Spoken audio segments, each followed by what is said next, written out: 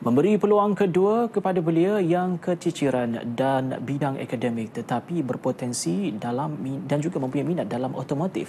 Itu fokus Spenco Sunan Berhad dan juga Yayasan Peneraju Pendidikan Bumi Putra, Yayasan Peneraju yang membiayai 75 bakat Bumi Putra dengan nilai tajaan sebanyak RM400,000 untuk menjalani latihan kemahiran selama enam bulan.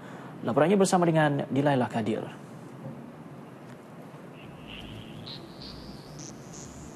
Program ini merupakan salah satu inisiatif di bawah tanggungjawab sosial korporat Spanco bagi menyokong agenda transformasi ekonomi Bumi Putra melahirkan lebih ramai tenaga kerja tempatan.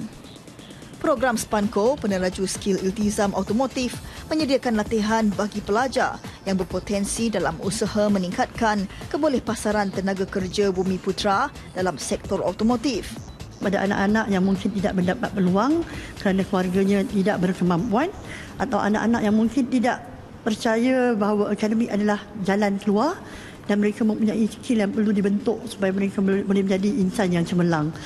Seramai 75 pelajar terpilih dalam CJ Light Vehicle Maintenance and Repair ini yang diperakui oleh Institute of Motor Industry IMI mereka akan menjalani latihan di Akademi Latihan Pendidikan Vokasional VETA Semenyih.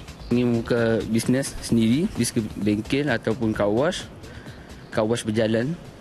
Ha, itulah saya punya azam saya sebab saya ingat nak buat bengkel sendiri lah. Nak cari pengalaman kerja kat syarikat mana-mana ke dapat rezeki selama 7-8 tahun cari pengalaman dah cukup pengalaman insyaAllah saya akan buka bengkel sendiri. Rasa saya nak uh, buka bengkel sendiri untuk apa supaya orang boleh datang macam nak buktikan dekat dia orang yang perempuan pun sebenarnya boleh masuk otomotif.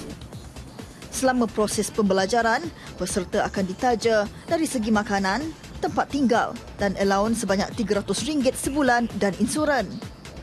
Selepas tamat belajar, mereka akan diaturkan untuk bekerja selama setahun di syarikat industri terpilih.